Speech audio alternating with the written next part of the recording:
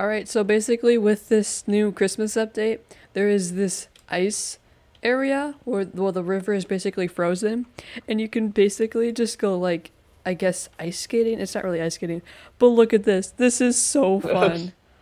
it's so fun. You can it's like it's so fast that you actually like glitch teleport, but look at how far you can go and how fast you can go.